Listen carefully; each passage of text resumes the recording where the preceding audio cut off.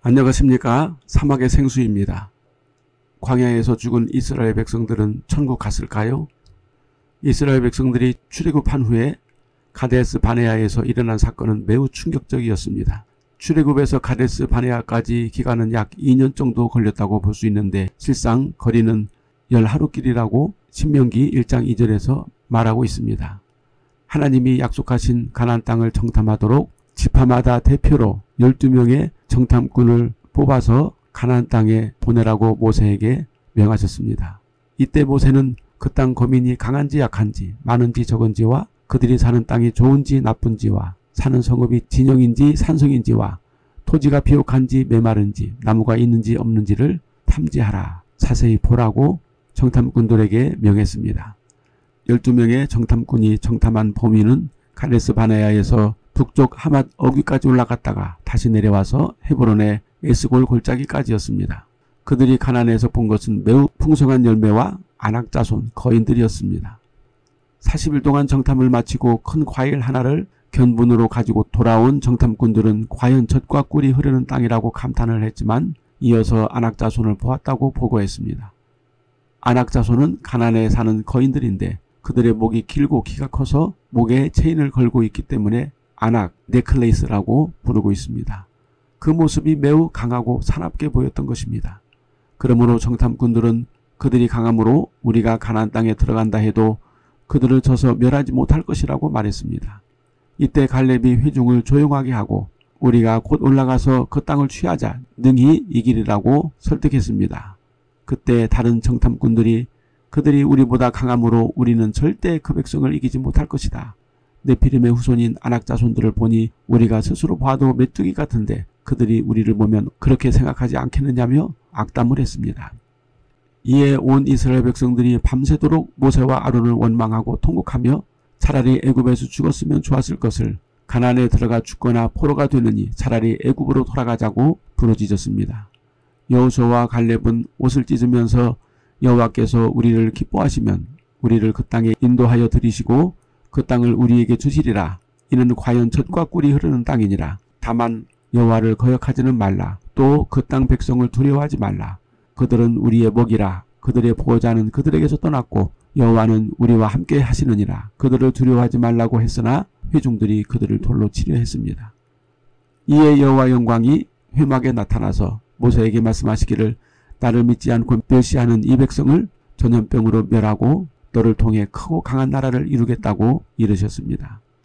모세가 주의 광대하신 인자하심으로 이 백성을 사해달라고 간구함으로 여호와께서 사노라 하셨지만 20세 이상 모든 백성들이 광야에서 40년간 방황하다가 죽을 것인데 여호수아와 갈렙 이외에는 결단코 가나안 땅에 들어가지 못할 것이라고 말씀하셨습니다. 왜 19세 이하는 하나님이 살려주셨을까요?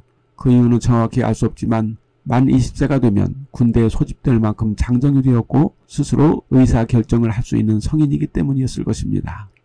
그런데 광야에서 죽은 자들은 20세 이상 모든 사람들일 뿐만 아니라 모세와 아론도 역시 가나안 땅에 들어가지 못하고 죽었습니다.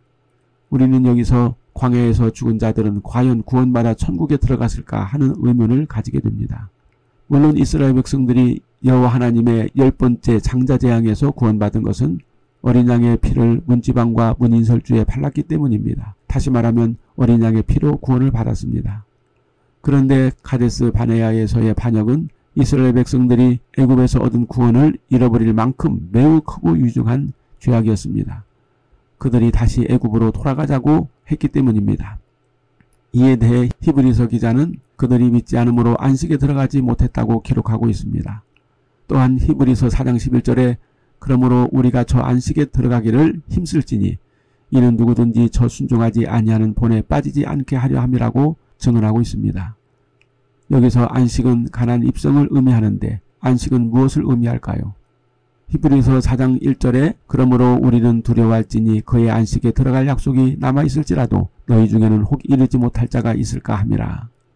여기서 그의 안식은 하나님이 주시는 천국을 의미하는 것이 확실합니다.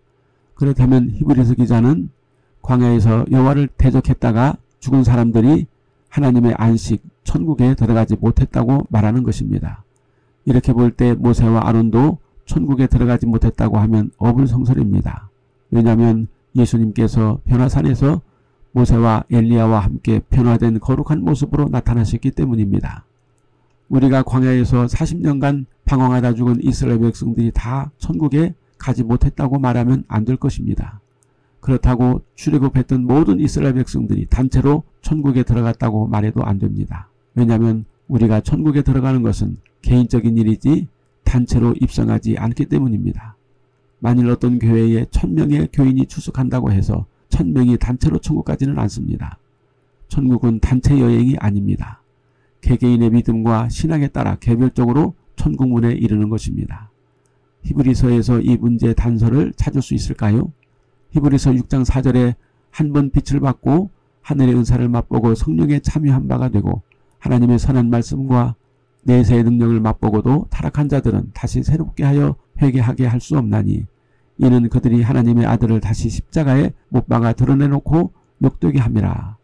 여기서 한 번 빛을 받고는 세례받고 라는 의미이며 하나님의 은사, 성령의 참여, 선한 말씀, 내세 능력을 맛보았다는 것은 거듭남의 일련의 과정을 통과했다는 뜻입니다.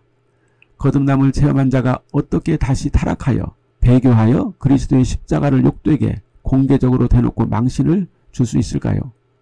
이스라엘 백성들이 어린 양의 피로 애굽에서 구원받고 홍해를 걷는 것은 영적으로 거듭났으며 하나님의 백성이 되었다는 뜻입니다. 그런데 가데스 바네아에서 이스라엘 백성들은 대놓고 하나님과 모세를 대적했고 더구나 애굽으로 돌아가자고 배교에 해당하는 선동을 했습니다. 이것이 타락하여 그리스도의 십자가를 노골적으로 욕보인 배교입니다. 이렇게 배교한 자들은 다시 새롭게 회개할 수 없다고 히브리서 기자는 말하고 있습니다. 여기서 새롭게 회개할 수 없다는 것은 두 번 거듭남은 없다는 뜻입니다. 거듭남은 일회적이며 거듭남 후에 타락하고 배교한 자는 다시 거듭날 수 없습니다. 그러므로 히브리서 기자는 그리스도의 도의 초보인 회개와 세례, 성령의 체험 등 거듭남에서 머물러 있지 말고 성화의 단계, 성숙의 단계인 성화로 나가야 된다고 경고하고 있는 것입니다. 그런데 우리가 곰곰이 생각해보면 거듭남의 신앙 고백은 진정성 없이도 할 수 있습니다. 어떤 사람이 죄를 회개하고 예수의 피를 믿고 예수를 주로 고백하며 하나님에 대한 믿음과 부활과 심판에 대한 신앙 고백을 했다고 해도 그가 다시 죄 가운데 빠져 타락하여 그리스도를 배신한다면 그의 고백은 처음부터 진심이 아닌 가짜일 가능성이 큽니다. 예를 들어서 남자가 입대하여 훈련소에서 훈련을 받다가 훈련소에 있는 교회에서 단체로 세례를 받았다고 하더라도 그 세례가 개인적인 신앙 고백이 아닐 수가 있다는 것입니다. 히브리인들이 애굽 땅에서 여호와의 명령대로 양을 잡아 피를 눈설주와 문인방에 뿌렸다 하더라도 여호와 하나님의 구원을 진정으로 믿고 그 피를 증거로 삼지 않고 그저 출애굽이라는 희망에 부풀어서 양의 피를 뿌릴 수도 있습니다. 만일 애굽 땅에서의 양의 피가 그들의 진정한 신앙 고백이 되었다면 광야에서도 그들은 여전히 어린 양의 피를 믿고 그 피를 뿌렸을 것입니다. 어떤 훈련병이 훈련소에 있는 교회에서 단체로 세례를 받은 것이 진정이었다면 그는 계속해서 예수님을 믿고 제대한 후에도 예수 신앙을 지속적으로 유지해야 한다는 것입니다. 여호와의 구원은 애굽 땅에서나 광야에서나 가난 땅에 들어가서나 여전히 그리스도의 표인 어린 양의 피이기 때문입니다. 모세는 여호와 율법의 수여자로 어린 양의 피를 분명히 믿고 피 뿌리는 일을 앞장서서 실행했으므로 가난 땅에 들어가지 못했어도 구원받아 천국에 이르렀음이 확실합니다. 광야에서 죽은 이스라엘 백성들도 개인적으로 어린 양의 피를 구원의 조건으로 믿고 행했다면 그들이 가난 땅에 들어가지 못했어도 구원받아 천국에 들어갔을 것입니다. 애굽에서 어린 양의 피로 구원받은 이스라엘 백성들은 광야 40년 동안 여전히 어린 양의 피를 뿌리고 그 피로 죄사함을 받아야 하기 때문입니다. 그러므로 광야에서 죽은 이스라엘 백성들의 구원은 단체 구원이 아니라 각각 개인의 믿음, 어린 양의 피로 죄사함 받는 구원의 조건을 믿고 그 믿음을 실행한 자들만 천국에 들어갈 수 있습니다. 교회에서 세례받고 오랫동안 신앙생활을 했어도 그리스도의 보혈의 가치와 능력을 최상으로 믿지 않고 이 땅에서의 평안함을 위해서 종교생활로 교회를 다녔다면 누구든지 그는 이 세상에서 죽었을 때 천국에 이르지 못할 것입니다. 우리가 구원받는 것은 교회라는 단체 혹은 이스라엘 백성이라는 민족 안에 포함되어 있다고 구원받는 것은 아닙니다. 하나님은 이스라엘 백성과 교회를 구원의 기관으로 택정하셨지만 그 구성원인 개개인의 믿음과 변함없는 신앙생활을 통해 하나님은 구원하십니다. 그 믿음의 핵심은 구약에서는 어린 양의 피 흘림이며 신약에서는 그리스도의 보혈인데 이 두 가지는 그림자와 실체, 예언과 성취라고 하는 견고한 끈으로 묶여져 있습니다. 결론적으로 광야에서 죽은 이스라엘 백성들이 천국에 갔는가는 하나님만이 아십니다.